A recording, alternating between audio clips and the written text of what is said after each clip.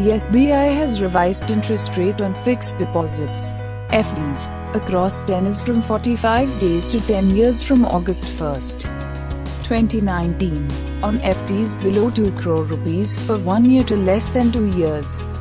Interest rates reduced by 20 basis points to 6.80%.